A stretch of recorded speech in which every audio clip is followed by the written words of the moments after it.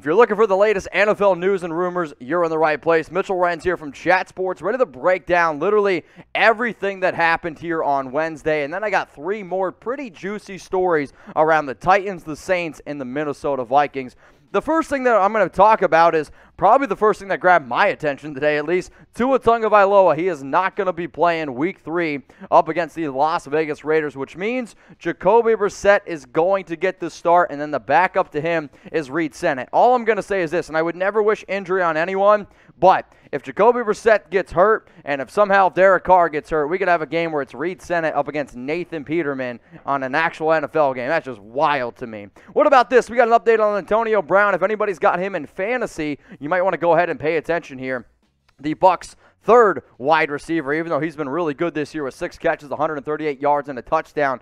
He's dealing with COVID right now, and from what it looks like, he's going to have two days, okay, two days, negative 24 hours apart. And if he does that, he's going to be eligible to play against Los Angeles. Carson Wentz, this might surprise you. More injury update on him. He doesn't have one sprained ankle he's got two sprained ankles. And apparently, this just makes me laugh. His right ankle is the high ankle sprain, and his left is the low ankle sprain. He's still trying to say that he might have a chance to play, but I'm going to go ahead and say that there's a better chance that Harrison Graham gets a bet right than Carson Wentz ends up playing. Let's go starting week three here. It's Justin Fields. Speaking of my man Graham, I'm excited to see what Fields is going to be able to do, the number 11 overall pick. I mean, I've been sitting here pounding on the table saying they need to start this guy. He's better than Andy Dalton.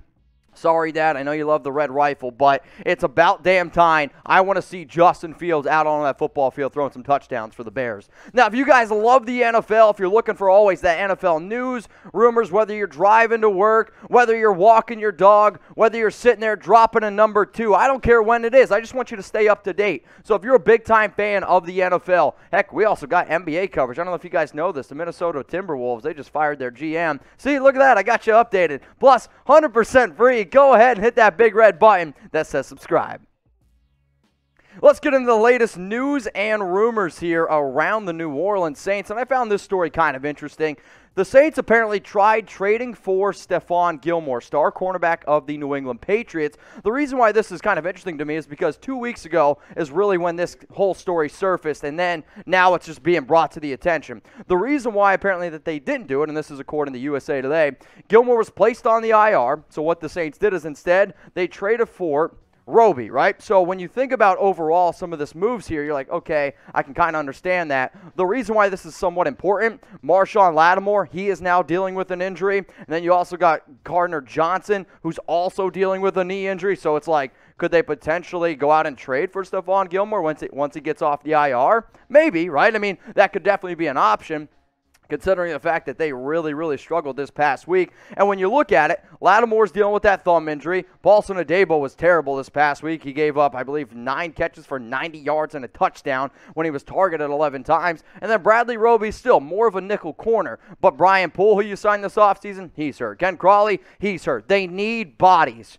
One of the bodies that's already been linked to New Orleans is, in fact, Richard Sherman. So wouldn't it be kind of interesting if they're like, okay, we couldn't get Stephon Gilmore. All of our other players are hurt. Could you potentially pick up the phone, Sean Payton, and give Richard Sherman a call? I mean, when we talked about some of these teams in the offseason being very interested in him, the Saints were by far one of the teams that showed the most interest. And I think Sherman would be a good fit in New Orleans. He said in the past that he would be open to joining this team. So even though they had a bad week two game, I don't think you can throw away what they did in week one. And what they did in week one was with a healthy team. Hey, I'd say right now, if I was New Orleans, I'd pick, pick up the phone and give them a call. But here's two options, right? Because this is what we do at Chat Sports. We give you guys options, and I want you to really think about what you would do.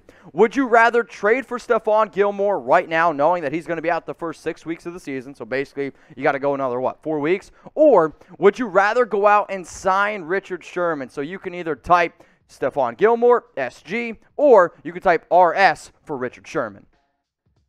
Now, I got one heck of a deal going on right now, so pay attention. If you like betting on NFL games, if you want to bet on college football, hell, uh, you could probably even bet on the UFC fight this weekend if you're interested in that. I want you to go to chatsports.com slash bet. What you're going to get is 125% deposit bonus. I promise you this. It is the best deal on the internet. So if you deposit $100, you're going to get $125 for free to bet with. Yeah, that's serious amounts of change. So you got to go to this link below, chatsports.com slash bet. Promo code NFL Daily. It's going to get you that 125% deposit bonus. And if that's not good enough, what I got on tap here is this. If you go ahead and make at least a $5 bet, this is for new BetUS customers only. We're going to hook you guys up with a new NFL jersey. So you got a free jersey. If you have any questions whatsoever on how to get that, you can email us jersey at chatsports.com. But again, it is for only new BetUS users, and you have to use the link chatsports.com slash bet, and you got to use the promo code NFL Daily. That way we get credit. So we're also going to hook you up, though, with the jersey.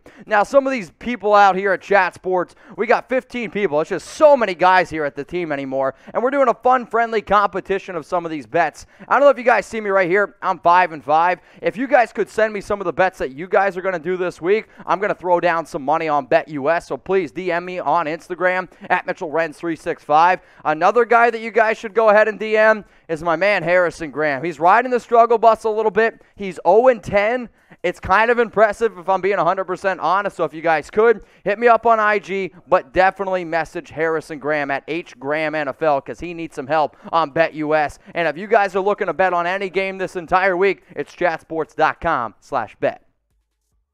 We got some Tennessee Titans news and rumors to cover. Plus, maybe they could go out and sign some free agents on the offensive line. The reason why I'm bringing this up is because Taylor Lewan, who I think at one time was probably one of the best left tackles in the entire league, he got absolutely roasted against Chandler Jones in week one, was battling a knee injury, and then he looked like he was going to play in week two, then tweaked that knee injury, so he was unable to play in week two, and now he's questionable for week three as it stands. So if you've been watching the Titans, they need some help on that left side of that offensive line. So this begs this question Who is the top free agent offensive lineman still out there on the market? Because there's some pretty good ones. There's no doubt about it. At the tackle position, at the guard position, left tackle, right tackle. Let me know who is the top free agent offensive lineman.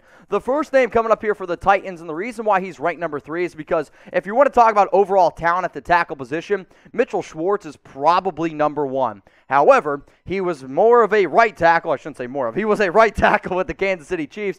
But if you're getting desperate, which maybe Tennessee is getting a little bit desperate, pick up the phone, give Schwartz a call, say, hey, man, are you healthy? How's that back doing? Could you potentially play left tackle? If Schwartz says, no, I'm not playing left tackle, or if he says, no, I'm not going to go ahead and play, or I can't play because of my back, then you could potentially pick up the phone and call the number two guy on my list here, which is Roderick Johnson. So Johnson Another guy who you can put on the left side, you can put on the right side. I like that versatility. Now, none of these guys are even close to as good as Taylor Lewan. However, what you got right now, it ain't working. He's played in 28 games the past two seasons, 163 snaps at left tackle last year. And if you look at the PFF grades, 64.5 overall, then you got 60.6 pass blocking grade, 73.9 run blocking grade. But if I was Tennessee, the number one person I would call if you're looking for a left tackle is Russell Okung. Again, if you're talking about talent alone, he's the best left tackle out on the board.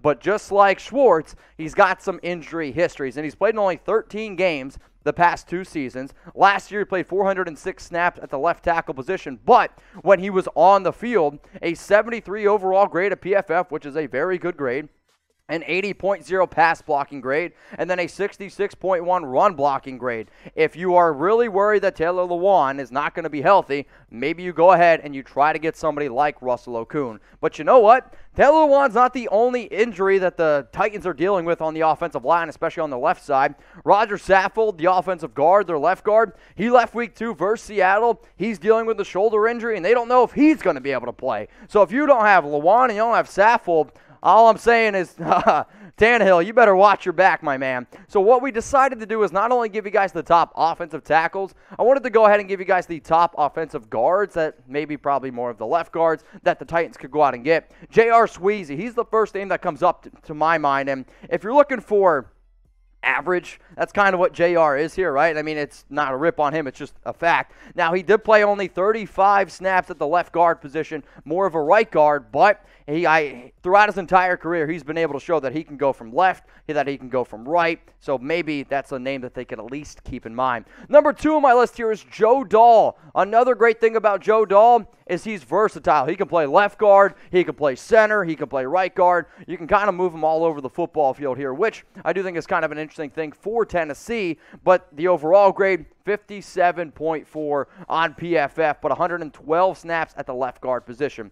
The number one person that I would call, though, if I was the Titans looking for a left guard, it's Nick Easton. Nick Easton, to me, is probably the best guard still out there on the market. He can play left, he can play right a lot better as a run blocker. And I think if you're the Titans, that's the more important thing to look for. I know that you want to be able to throw the ball in today's NFL, but let's face it, if the Titans are going to win football games, it's going to be on the back of King Henry. So if you can block better in the running game, that to me is the most important thing. So what we gave here, guys, was the latest news, rumors around the Titans. So here's my question. Should the Titans go out and sign an offensive lineman? I want you to go down in the comments section right now. If you're like, yes, type that Y for yes. If you say yes, be an overachiever and give me a name that you think that they should go out and get. If you're like, nope, this team's good, go ahead and type your N for no. Now, Chat Sports is one of the hardest working companies in the biz. And if you haven't already, go ahead and give us a follow on Instagram at Chat Sports. I'm not going to tell you what it is exactly, but we're going to be posting a pretty awesome deal either today or tomorrow. So I want you to go ahead and follow Chat Sports on Instagram at Chat Sports. That way you guys can see what it is. And if you're watching this live, I am going to be giving some shout outs to some people coming up here in just a little bit.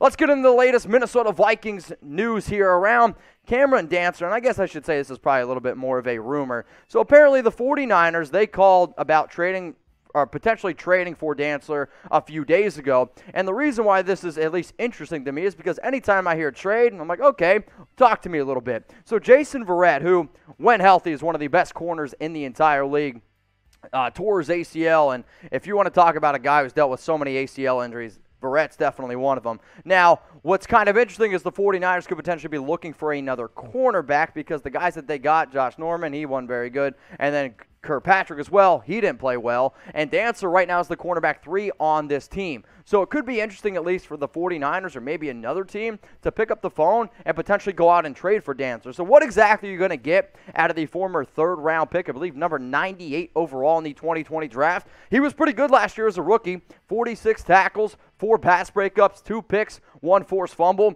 He played in 601 snaps, and what you're about to see right now are his 2020 PFF grades. The overall grade 70.9. He was a 68.5 against the run D. And then the coverage grade, 69.8. So what I thought was okay, if the 49ers were interested a few days ago, could they potentially be interested again? So what I figured here is after having a solid rookie year, he's not really getting on the field that much now because of Patrick Peterson and Bashaud Breeland. But what do you guys think? I want you to be the judge here. Who do you think wins this trade? The Minnesota Vikings get a 2022 third round pick. The San Francisco 49ers, they get Cameron Dantzler. Go down in the comments, let me know. Type Vikings or 49ers. Who do you think wins this deal?